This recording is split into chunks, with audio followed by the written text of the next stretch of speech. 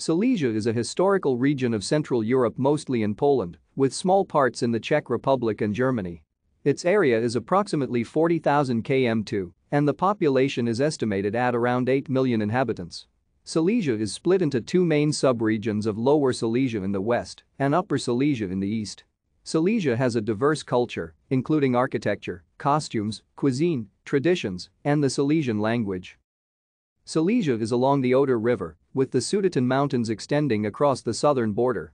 The region possesses many historical landmarks and UNESCO World Heritage Sites. It is also rich in mineral and natural resources and includes several important industrial areas. Silesia's largest city and historical capital is Wrocław.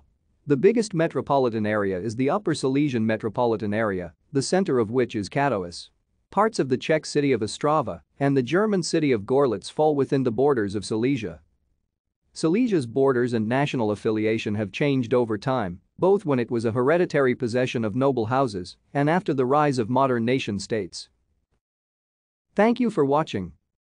Like and subscribe if you would like to view more of our videos. Have a nice day.